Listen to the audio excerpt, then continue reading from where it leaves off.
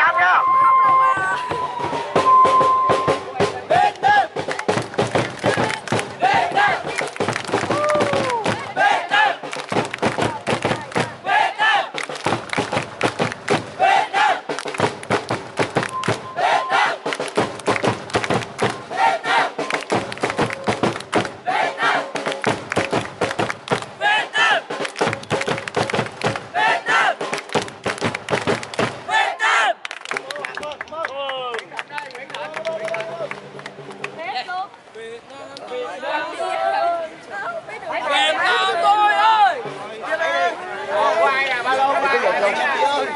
gì chung